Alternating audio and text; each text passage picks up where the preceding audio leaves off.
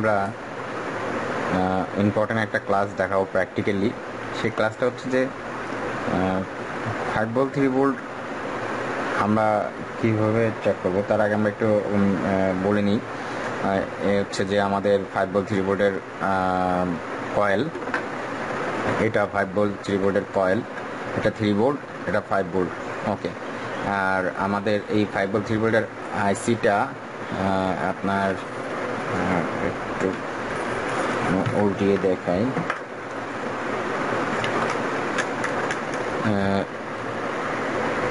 এটা হচ্ছে যে আমাদের ফাইভ বোল্ট থ্রি বোল্টের আইসি দুইটা মোসপেট এই দুইটা মোসপেট একটা ফাইভ বোল্টের জন্য মোসপেট এবং ক্যাপাসিটার থ্রি বোল্টের জন্য মোসপেট এবং ক্যাপাসিটার এই হচ্ছে যে আইসিটা তো আমাদের যারা টেকনিশিয়ান বা লোকাল এরিয়াতে কাজ করে থাকেন তারা বেশিরভাগই দেখা যায় প্রথমেই দেখে যে আইসির ভোল্টেজটা কয়েলে আসছে কিনা। কয়েল মিন্স হচ্ছে যে এই কয়েল এইখানে ভোল্টেজ আছে কিনা। ঠিক কীভাবে মাপবে? দেখেন। এইভাবে আপনার নেগেটিভে ধরে আমাদের মিটারে ভোল্টেজ রেখে এখানে দেখবে কয়েলে ভোল্টেজ আসছে কিনা, এখানে দেখবে কয়েলে ভোল্টেজ আসছে কিনা। ফাইভ বল থ্রি বল না আসলে এবার কি করবে? টাচ করবে। আইসি টাচ করবে, গরম হচ্ছে কিনা। তারপর আবার এখানে ঘুরিয়ে যে ফাইভ বল থ্রি ভোল্টের আইসিটা সেটা টাচ করবে, গরম হচ্ছে কিনা। মোসপেট টাচ করবে, গরম হচ্ছে কিনা। এগুলো হচ্ছে যে একদম মানে লো লেভেল কাজ। লো লেভেল কাজের ভিতরে আমরা হ্যাঁ হিট হচ্ছে। কেন বা হিট হচ্ছে? সে কি আমরা জানি যে একটা হিট হওয়ার কারণ হচ্ছে যে নেগেটিভ পজিটিভ যদি সঙ্গ সংস্পর্শে আসে, তখন দেখা যাবে যে হ্যাঁ একটু ফিকশন তৈরি হয়। ফিকশনের কারণে তখন দেখা যায় যে এটা গরম হয়। তো এবং ফুললি যদি নেগেটিভ পজিটিভ এক হয়ে যায়, তখন শর্ট হয়ে যায়। এটা এটা তখন শর্ট হওয়ার কারণে ইলেকট্রনের গতিটা তখন যেতে পারে ইলেকট্রনের গতিটা আইসি থেকে আউটপুট করতে পারে না বিধায় ওটা ফিকশন তৈরি হয়। ফিকশনের কারণে হিট হতে থাকে। তো এই জন্য অনেকে মনে করে যে আইসি খারাপ। হ্যাঁ আইসি খারাপ হলেও হিট হবে মোসপেট খারাপ হলেও হিট হবে। এখন দেন, যদি মোসপেট এবং আইসি খারাপ না হয়ে থাকে হিট না হয়ে থাকে তাহলে কি আমরা কি বুঝব? যে আইসি খারাপ না মোসপেট খারাপ? তখন ওরা কি করে? ভোল্টেজটা মাপবে। কি মাপবে? ভোল্টেজটা বড় জোর গেলে এই দুইটা কয়েলে ভোল্টেজটা মাপবে। মাপার পর যদি ভোল্টেজ না আসে, এরপর দেন ওরা কি করবে? মোসপেট ভালো না খারাপ, এটা চেক করবে। চেক করার পর মোসপেট উঠানো শুরু করবে।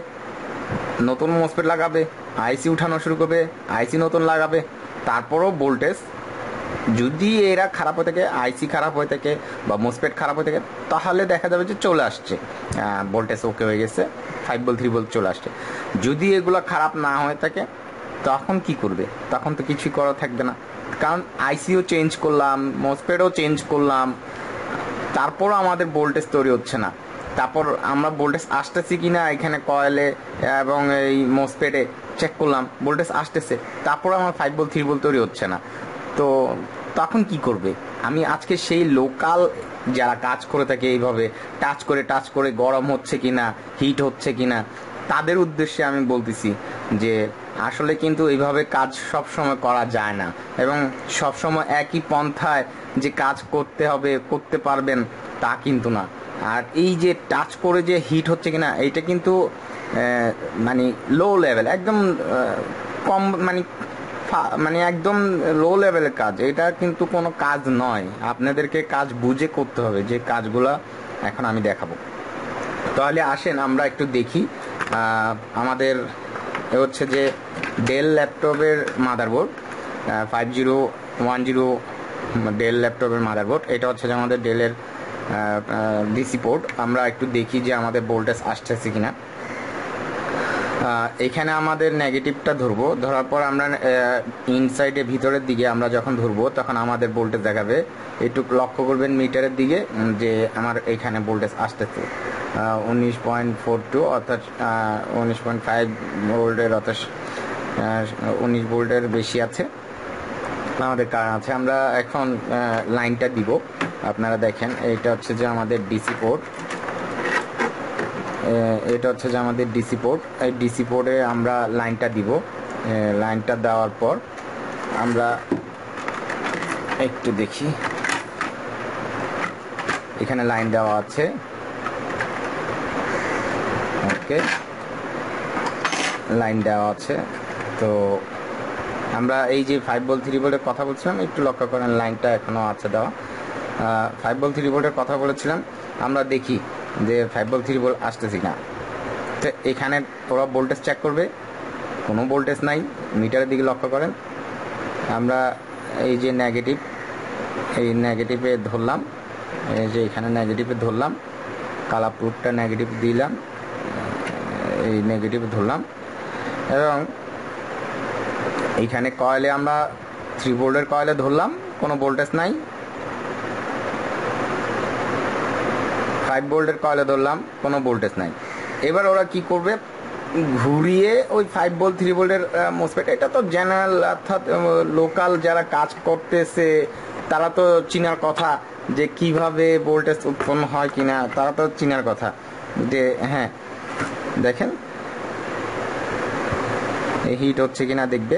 দেখতেছে, না হিট হচ্ছে না। এরপর কি করবে? ওরা এখানে মোসপেডে উনিশ বোল আসতেছে কিনা দেখবে। যেমন এখানে আমাদের উনিশ বোল আসবে, দেখেন। হ্যাঁ উনিশ বোল আসছে।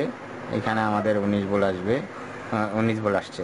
এখন উনিশ বোল আসার পর ওরা দেখবে যে আইসিতে ভোল্টেজ ঢুকতেছে কিনা উনিশ বোল ঢুকতেছে কিনা। উনিশ বোল ঢুকার পর, যেমন এখানে যেমন এখানে আমাদের উনিশ ভোল্ট ঢুকা মানি আমাদের আইসিতে উনিশ ভোল্ট ঢুকিয়ে দেয় তো এই ভোল্টেজ আসার পরও দেখবে যে ওরা ফাইভ ভোল্ট থ্রি ভোল্ট তৈরি হচ্ছে না। এখানে দেখেন ওরা কি করবে? এই এখানে থ্রি ভোল্ট এখানে ফাইভ ভোল্ট আসতেছে না। তো এই যে এরা চেক করার পর, এখানে যখন চেক করবে, এইভাবে চেক করবে চেক করার পর উনিশ ভোল্ট দেখেন এখানে দেখেন আমাদের থ্রি ভোল্ট এবং ফাইভ ভোল্ট আসতেছে না। তো থ্রি ভোল্ট ফাইভ ভোল্ট না আসলে ওরা এবার কি করবে? আইসি চেঞ্জ করবে। তারপর আমাদের এখানে যেই মোসপেটগুলো আছে মোসপেট চেঞ্জ করবে।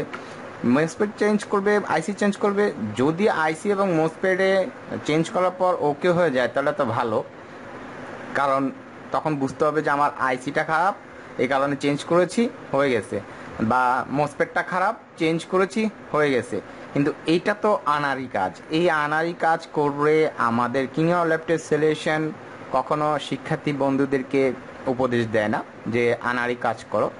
আমরা সচরাচর আমরা বেসিক ইলেকট্রনিক্স পড়িয়ে থাকি। এই কয়েল কীভাবে মাপতে হয় ক্যাপাসিটার কীভাবে মাপতে হয়, তারপর মোসপেট কীভাবে মাপতে হয় আইসির ইম্পর্টেন্ট লেগগুলো যেই যেই লেগে আমাকে ভোল্টেজ আসতে হবে, যেই যেই লেগে আমাদের সিগনাল আসতে হবে, যেই যেই লেগে আমাদের গেট আসতে হবে, কীভাবে চেক করতে হয়? তারপর আমাদের ছোট ছোট ডায়োড ট্রানজিস্টার মোসপেট কীভাবে চেক করতে হয়? তারপর আমাদের রেজিস্টার কীভাবে চেক করতে হয়? কমপ্লিটলি আমরা একটা প্যাকেজ দেখিয়ে দিই। আমরা যেহেতু কাজ জানি, আমরা কাজ বুঝি তাহলে আমরা কেন আনারি চেক করব? কেন আমরা আনারি চলবো? তাহলে আসেন, আমরা এবার একটু দেখি। এই যে আমরা একটু ভালোভাবে আবার, আমরা এবার কিংওয়াল অ্যাপ্লিকেশন কীভাবে শেখায়, সেটা একটু দেখাই।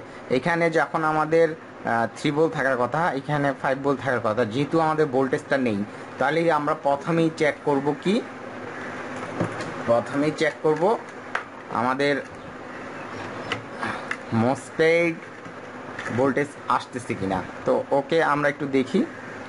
এইখানে আমাদের ডিসি পোর্টে ভোল্ট লাগানো আছে। এবার আমরা দেখব যে আমাদের এ হচ্ছে যে মসপেট এখানে আমাদের উনিশ ভোল্ট থাকবে, এখানে আমাদের উনিশ ভোল্ট থাকবে। ওকে যখন আমরা দেখব উনিশ ভোল্ট উনিশ ভোল্ট চলে আসছে, এরপর আমাদের আইসিটা কি করবে? এদের দুইটাকে ড্রাইভিং করবে। আবার এই আইসিটাই এদের দুজনকে ড্রাইভিং করে ফাইভ বল থ্রি বল তৈরি করবে। তো ড্রাইভিং করবে কি এই মসপেটের কোন লেগে আমরা জানি, সাধারণত গেটে ড্রাইভিং করে থাকে। তো আমরা ড্রাইভিং হচ্ছে কিনা সেটা আমরা চেক করব। তো আমরা এখানে দেখতেছি আইসি মসপেটের আমরা জানি গেট কোনটা। তো আমরা ধরে যখন দেখলাম যে না গেটে কোনো ড্রাইভিং হচ্ছে না এইখানে গেটে কোনো ড্রাইভিং হচ্ছে না। এইখানেও গেটে কোনো ড্রাইভিং হচ্ছে না।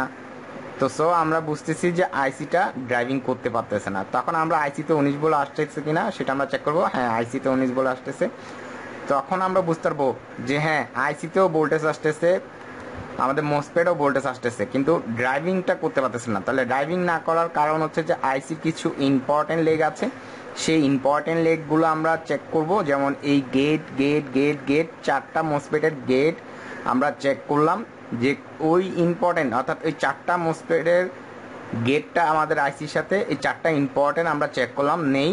তো আইসি নিজের কিছু ড্রাইভিং করে থাকে, আর একটা আইসি দ্বারা তো আমরা ক্লাস করলে কিং অল ল্যাপটপ সিলেকশনে যদি আমরা ভর্তি হই, এবং কিং অল ল্যাপটপ সিলেকশনে আমরা ক্লাস করে থাকি, তখন আমরা এই আইসির important leg MOSFET important leg important voltage signal logic কোনগুলো সেগুলো আমরা দেখিয়ে দিই। তো আসেন আমরা একটু আগে থেকে ট্রেসিং করে রেখেছি। যেহেতু লেগ ইম্পর্টেন্ট লেগগুলো ট্রেসিং করতে হলে টেকনিক্যাল শিট অথবা স্কেমেটিক ডায়াগ্রাম লাগে। তো যার কারণে আমরা আগে থেকেই বের করে রেখেছিলাম এটা ইম্পর্টেন্ট লেগটা কোন দিকে। আর যেহেতু আমি ভিডিওতে ড্যামও দেখাচ্ছি, তো সো আমরা ইম্পর্টেন্ট লেগটা এখানে দেখাচ্ছি না। তো আমরা দেখিয়ে দিই যে কীভাবে ভোল্টেজটা ইম্পর্টেন্ট লেকের কারণে আমাদের এই ভোল্টেজটা আসতেছে না। তো একটু আমি বোর্ডটা ঘুরি, ঘুরাই। ওকে, এখন আমরা দেখব। সবাই, এই যে প্রিয় শিক্ষার্থী বন্ধুরা, এখানে আমাদের ডিসি পোর্টটা লাগানো আছে। আর এখানে আমাদের ওই আইসির যে ইম্পর্টেন্ট লেগটা সেটা এই পিটে আছে, অর্থাৎ অপর পিস্টে ইম্পর্টেন্ট লেগটা জড়িত আইসির সাথে। আমরা যেহেতু আগের থেকে ট্রেসিং করে রেখেছি, এখানে আমাদের এই ট্রানজিস্টারের মাধ্যমে এখানে আমাদের এই সরি এখানে আমাদের মোসপেড এটা থ্রি লেগ মোসপেড মোসপেডের মাধ্যমে আমাদের এখানে ডুয়েল মোসপেড এই ডুয়েল মোসপেডের ভিতরে ভোল্টেজটা আসবে। আসার পর এখান থেকে ভোল্টেজটা আসার পর ওই আইসিতে ভোল্টেজ যাবে, ভোল্টেজ যাওয়ার পর এখানে আমাদের ফাইভ ভোল্ট থ্রি ভোল্ট উৎপন্ন হবে। তো আমরা দেখি এখানে ধরে দেখলাম, আমাদের মিটারে দেখাচ্ছে না ভোল্টেজ, এখানে ধরে দেখলাম ভোল্টেজ দেখাচ্ছে না। যখনই আমরা ওই ভোল্টেজটাকে ট্রিগার করে দিব, অর্থাৎ আমরা যে ইম্পর্টেন্ট কাজটা সেটা আমরা ম্যানুয়ালি করে দিচ্ছি ম্যানুয়ালি করিয়ে আমরা বুঝাই দিচ্ছি যে ফাইভ বল থ্রি বল ওই ইম্পর্টেন্ট লেগগুলো না থাকলে আসবে না। তো ওকে আমরা করিয়ে দিলাম। করিয়ে দেওয়ার পরে এখন আমরা চেক করব। প্রিয়- শিক্ষার্থী বন্ধু, দেখেন এখানে three volt three point three five volt আর এখানে আমাদের ফাইভ বোল্ট সামথিং আসতেছে। তো আমরা বুঝতে পারলাম যে এ হচ্ছে যে আমাদের ভোল্টেজ আনার প্রসেস অর্থাৎ আমরা ফাইভ বোল্ট থ্রি বোল্ট কেন আসতেছে না সেটা আমরা দেখব। আমরা দেখলাম যে কেন ফাইভ বোল থ্রি বোল আসতেছে না। তো বন্ধুরা, আমরা আজকে ক্লাসে বুঝতে পারলাম যে শুধু যে ওই আইসি তুলবো মোসপেট তুলবো আনারি লাগাই দিব, লাগাই দেওয়ার পর আমাদের ফাইভ বল থ্রি বল চলে আসবে। এখানে আমাদের যে এখন এখন যেহেতু থ্রি বল আসতেছে ফাইভ বল আসতেছে, তো শুধু যে আসলেই আমরা আসলো না আসলো না, পরে আমরা এখানে চেক করলাম চেক করার পর আমরা চেঞ্জ করলাম, তাহলেই কিন্তু বন্ধুরা হচ্ছে না। তো ক্লাসটা আমরা দেখে বুঝতে পারলাম যে ইম্পর্টেন্ট কিছু লেগ আছে, যে লেগে আমরা চেক না করলে আমাদের ফাইভ বল থ্রি বল আসবে না। এইভাবে করে শুধু ফাইভ বল থ্রি বল না, প্রত্যেকটা সেকশনে আমাদের এরকম কিছু ইম্পর্টেন্ট লেগ আছে, যেই লেগগুলো আমরা না কাজ করতে জানলে আমাদের ব্যর্থতা হবে। আমরা ওই আনারি কাজ করতেই থাকব। আনারি কাজ করলে আমরা কিছুই শিখতে জানলাম না। তো প্রিয় শিক্ষার্থী বন্ধুরা কিংয়াল ব্যাপটিস সলিউশনের কাছে আপনারা আসেন। আসলে ইনশাল্লাহ আমরা যেই দেশের বাইরে গিয়ে যে কোর্সটা করতে হয় বা করি আমরা, করতে পারলে ভালো যাদের টাকা বা পয়সা আছে, তারা যদি দেশের বাইরে গিয়ে কোর্স করতে পারেন তাহলে আলহামদুলিল্লাহ অনেক ভালো কোর্স মানে করিয়ে থাকে। যেমন আমি ইন্ডিয়া চারটা জায়গা থেকে, যেমন আন্ধ্রপ্রদেশ শিবাজি ইনস্টিটিউটে শিবাজি ইলেকট্রনিক্স ইলেকট্রনিক্স ইনস্টিটিউট থেকে আমি কোর্সটা করি। এবং সেটা আন্ধ্রপ্রদেশে এবং দিল্লিতে নয়া দিল্লিতে আমি কোর্স করি, সেখানে ল্যাপটপ কেয়ার, সেখানেও আমি কোর্স করে থাকি। এবং বোম্বে সেখানেও আমি কোর্স করে থাকি। বোম্বে দুইটা জায়গায় আমি করি দিল্লিতে করি আন্ধ্রা প্রদেশে করি। তো, এরকম চারটা জায়গায় কোচ করে আমি যে এক্সপেরিয়েন্স এবং বিগত এই ল্যাপটপ রিপেয়ারিংয়ে ডেস্কটপ রিপেয়ারিংয়ে আমি প্রায় ছয় থেকে সাত বছর এক্সপেরিয়েন্স আছে আমার আল্লাহ রহমতে।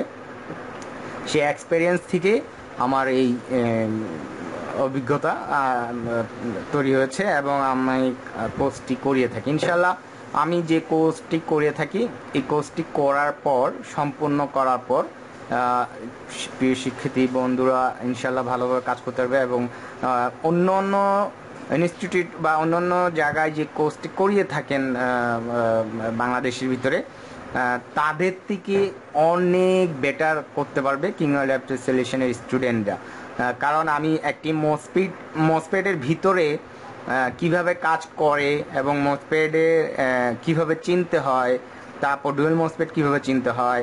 আইসি কীভাবে কাজ করে? ক্যাম কীভাবে ভোল্টেজ চেক করতে হয়? ক্যাপাসিটার কীভাবে ভোল্টেজ ফিল্টারিং করে? ক্যাপাসিটার কীভাবে ভোল্টেজ কে কাপলিং করে? সেটা আমরা বলে থাকি। তারপর আমাদের প্রত্যেকটা কম্পোনেন্ট রেজিস্টার কীভাবে ভোল্টেজকে হাই লো করে, সেটা আমরা দেখিয়ে থাকি। কীভাবে আমাদের ভোল্টেজগুলো মার খাচ্ছে কীভাবে শর্ট হচ্ছে শর্ট ফাইন্ডিং করা, তারপর ভোল্টেজ ড্রপ হয়ে যাচ্ছে, সেটা ফাইন্ড আউট করা, তারপর আমাদের বায়োস প্রোগ্রামিং করা বায়োসের ফাইল ডাউনলোড করে নামানো স্কেমেটিক ডায়াগ্রাম রিড করা, কীভাবে স্কেমেটিক ডায়াগ্রাম পড়তে হয়, কীভাবে আমাদের ল্যাপটপটাকে রিপেয়ার করে কমপ্লিটলি একটা সলিউশন আনতে হয় কমপ্লিটলি এ টু জেড ইনশাআল্লাহ আমরা কম্পিউটার সম্বন্ধে ল্যাপটপ সম্বন্ধে দিয়ে থাকি। একদম খুব ভালোভাবে। তাহলে আসেন আমরা সিদ্ধান্ত নিই। আর অনেক সিদ্ধান্তই তো শিক্ষার্থীরা নিয়েছেন, অনেক জায়গায় অনেক টাকা খরচ করেছেন। কিন্তু সঠিক জায়গায়, সঠিক পরিমাণে টাকা খরচ করেননি বিদায়, আপনাদের ভালো কোনো সাপোর্ট পাচ্ছেন না। তবে ইনশাল্লাহ আমরা যেই পরিমাণের অর্থ নিয়ে থাকি অন্য অন্য প্রতিষ্ঠানের থেকে অনেক অনেক কম কাজের তুলনায়। ইনশাল্লাহ আমরা আপনাদেরকে হান্ড্রেড পারসেন্ট সিউরিটি দিয়ে থাকি যে আমার সিলেবাস মোতাবেক কোর্সটা কমপ্লিট করার। একদম কমপ্লিট হওয়া পর্যন্ত আমরা সেই মোতাবেক ক্লাস দিয়ে থাকি। আল্লাহ হাফেজ।